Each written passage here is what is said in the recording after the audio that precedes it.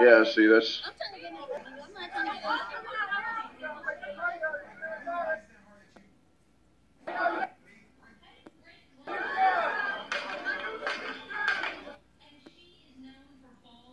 uh, anything spectacular. I mean, I don't see anybody gluing bricks to the road or uh, setting setting uh, fire to buildings or driving trash cans down the road, that kind of thing. It's just uh, it, you know just try to uh, get out some frustration and. Uh,